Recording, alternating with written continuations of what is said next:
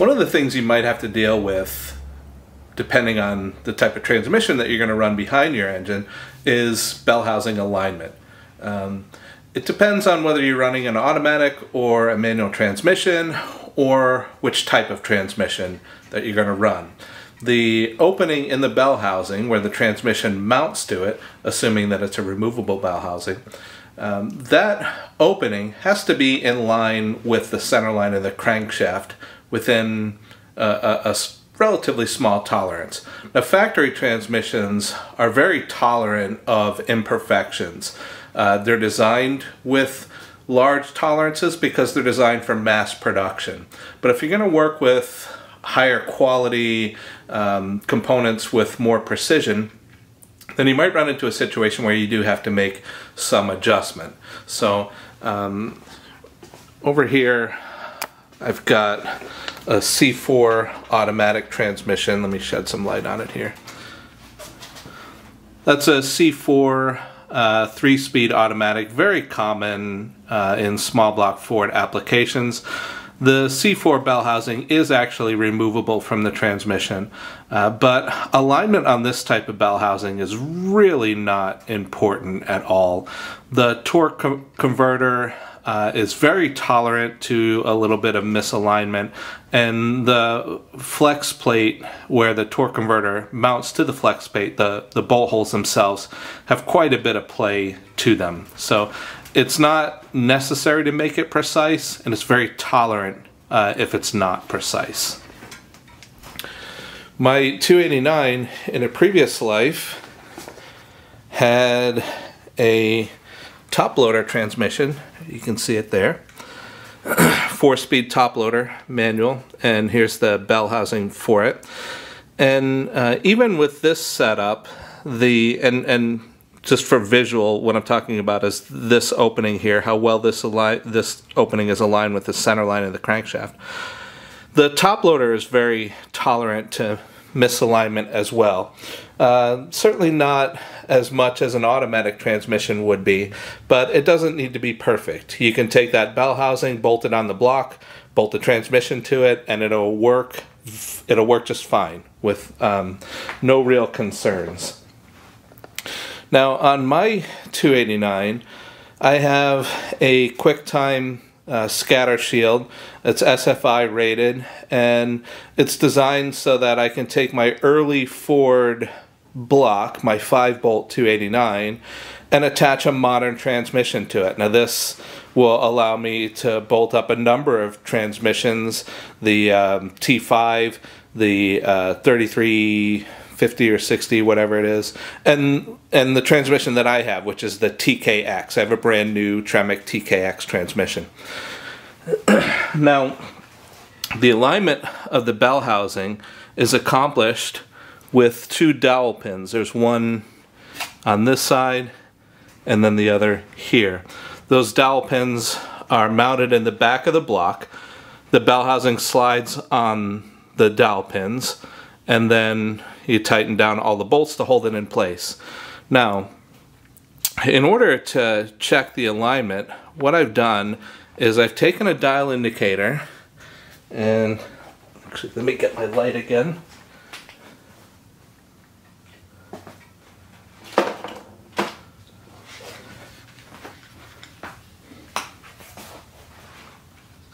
For the shakiness.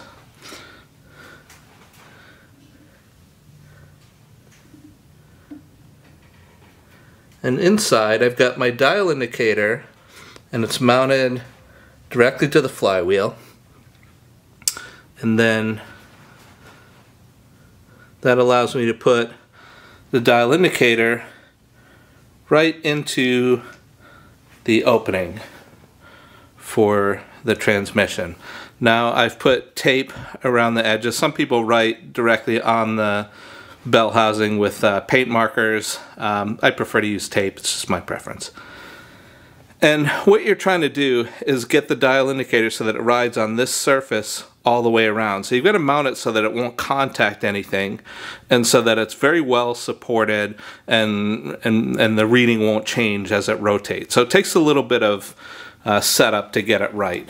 And then um, all I did was pick a starting point. It's marked here with zero.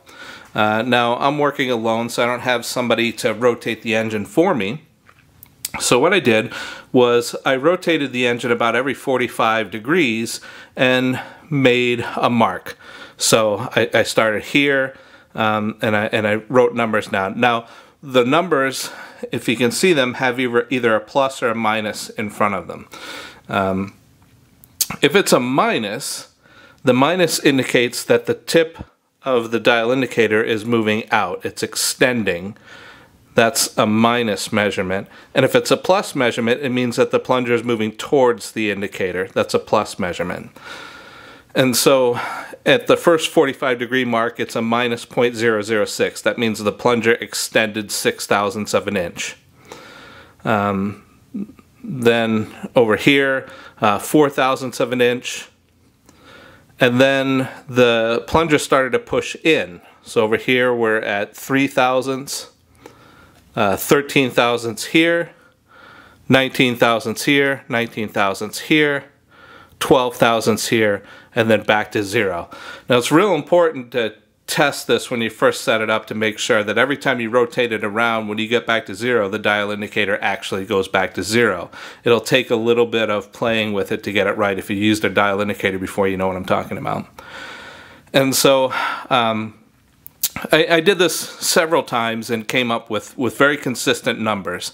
So now um, I had my uh, highest negative readings over here. I had six here and four here. Um, so I wanted to know, it went from zero to six and then from six down to four. So I wanted to know where the, the reading, where it was extended the most was. So I played around in this area and I found out that right here uh, was a minus 0.007, seven thousandths of an inch. And now, same thing on this side. I was plus 13 here, uh, but then I was 19 here and 19 here. And so I moved it around quite a bit in this area to find the point where I had the highest plus number, and that was right here, plus, uh, 20 thousandths. And notice the highest plus number is straight across from the highest minus number. Now, a plus means that the plunger is pushing this way, and a minus means that the plunger is pushing this way. That means that the entire opening is offset from the center line 27 thousandths of an inch from this point, or I, I, should say the total total indication um, is a plus 20 here and a, and a minus 7 here for a total of 27 thousandths. But um, if I were to move, so that means that the entire bell housing is this way, 27 thousandths. But if I were to move it back 27 thousandths, um, that means I'm going to be offset in the opposite direction. Um, these are total numbers, and in order to get it in the middle between the total, I have to divide that in half. And so I've got my plus 20 and my minus 7 over here for a total of 27 thousandths. That means in order to get the alignment perfect, I would have to move it in that direction half of the amount. So half of uh, 27 is uh, 13 and a half thousandths.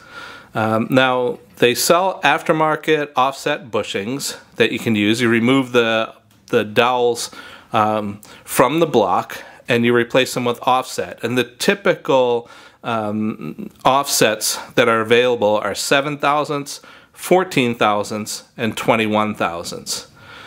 So in order to get this bell housing perfectly centered, I would need to go in this direction 13 and a half thousandths. Uh, if I were to use a 7 thousandths bushing, I would still be out of alignment by six and a half thousandths. Um, Tremec, uh, in order for them to warranty a transmission, uh, will not uh, honor that warranty if your alignment is any greater than five thousandths. So the goal is to get it within five thousandths um, uh, or less um, out of center line. And so moving at 7 thousandths isn't quite enough. Now, 13 and a half thousandths out, if I use a 14 thousandths bushing, it's going to move me a half thousandths in the other direction, but then I would only be out of tolerance half a thousandth, which is well within the 5 thousandths tolerance. It's as close to perfect, I think, as you could possibly get. Um, notice at this point here, at the 9 o'clock, it's 13 thousandths. Divide that by 2, that's 6.5 thousandths. Um, and so in order to get that six and a half thousandths within tolerance of five, I have to move in this direction by one and a half thousandths. Well, um, notice the the area of greatest angle is uh, on the clock face, one o'clock through seven o'clock.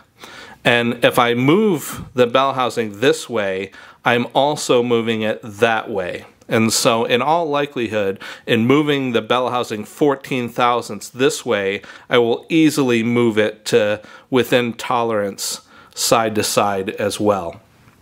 And so the next step is to remove the bell housing, remove the dowels from the block, replace them with the offset dowels, reinstall everything, and take all these measurements again. And hopefully uh, in going through that process, I'll get it to where the alignment is within tolerance for the transmission that I'm going to run behind this bell housing.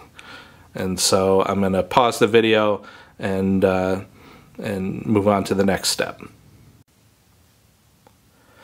So it was a bit of work, but I've got the two dowel pins that were on the back of the block, originally the factory ones, removed, and I replaced them with 14 thousandths offset bushings that I got from QuickTime. The original offset dowels on this early 289 are pretty small in diameter. They're just under 3 eighths of an inch. They measure 0.360, which I think is right about 23 64ths of an inch, so a little less than 3 eighths of an inch. Um, the 5 bolt 289 or the 5 bolt small blocks, 302s and 351s. Um, basically anything with the 6 bolt bell housing pattern has a much larger dowel pin. They're half inch. So um, there's only a couple places I could get the smaller diameter dowel pins from uh, for uh, this early 289 block. Uh, but I got them. I got them from QuickTime. I got them installed and now uh, there's scribbling all over the place because I've had to make several adjustments in order to get this right. Uh, but uh, in the end, what I ended up with is at the three o'clock position is uh, still my zero. Uh, directly across uh, from that, um, the dial indicator read a minus 0.001, meaning the bell housing overall is that way um, only one half of a thousandth. Uh, so one half of a thousandth. Uh, and with the tolerance being five thousandths, that is well within. Um, looking at diagonally um, top right to bottom left, which would be, I don't know, like uh, 1 o'clock to 7 o'clock ish. Um, in the top side here, I've got a plus, uh, 0.005 and then in the bottom here I've got a minus 0.003. What that tells me is that the bell housing is this way. Um, 8 thousandths of an inch in total, half of that uh, is uh, is how much it's offset, which is 0.004, well within the tolerance of 005. Uh, from the 12 to 6 o'clock, uh, at the top I've got 5 thousandths, a plus 5 thousandths. At the bottom I've got a minus four thousandths. That tells me that the bell housing is down um, nine thousandths of an inch. Um, center line uh, is four and a half thousandths, uh, close to the tolerance of five, but still below it. And then finally, the upper left to lower right, uh, so say like 10 to 4. Um, in the upper left, I've got a plus 0.003. In the bottom right, I've got a um, minus 0.005. Um, and so that's a total of 8 thousandths. Half of that is 4. Uh, and so all the way around the circle, the bell housing is aligned with the center line of the crankshaft to less than 5 thousandths of an inch, which is well within the Tremec tolerance. And so I can remove all of my masking tape and my dial indicator and I can go ahead and install the clutch um, and won't have to make any further adjustments before I install the transmission and I shouldn't have anything to worry about with regard to alignment.